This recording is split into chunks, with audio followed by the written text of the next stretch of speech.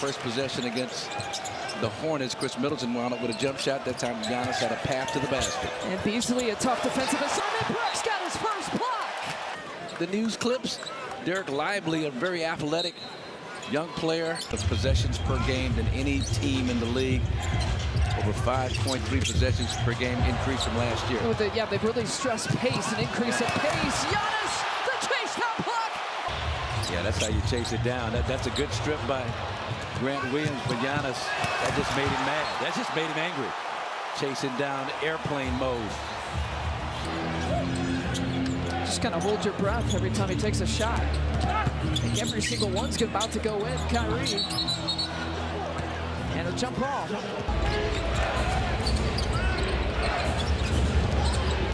Kyrie refusing that screen, headed the other way, and gets the jumper to fall. And with their execution at both ends of the floor.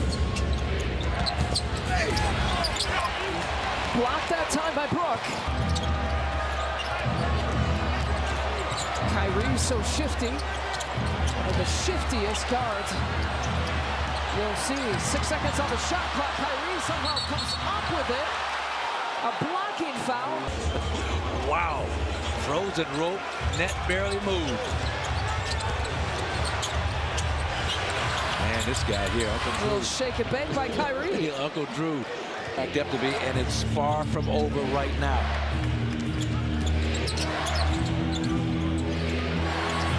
Look at the Kyrie. Smooth stroke. A little DHO action, dribble handoff between Luka and, and, and Kai, and man, that's just big time player making big time shots in a big time situation. Giannis sets the screen on Dame. Dame from distance, not that time. You think every single shot's gonna go in. When it's the fourth quarter, Kyrie, quick trigger.